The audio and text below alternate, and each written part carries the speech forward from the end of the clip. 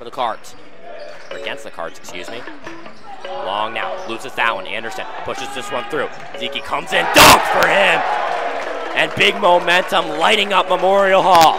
Ikee Ezike finishes in the air. Now goes Vitrini, tries a three, that one's short. Recovered cleanly, a ball sent all the way up. Goldsby breaks free on the fast break and a block away. Rebound. An electric sequence there for the Cards. Tigers who finished there. Rostered at six fives on the ice. Campbell rostered at six four, also on the ice. A shot just missed wide there. Bryer on the rebound. And he scores! Paul Bryer puts the Cardinals ahead late. Power play goal as Plattsburgh regains the lead here with 82 seconds remaining in regulation.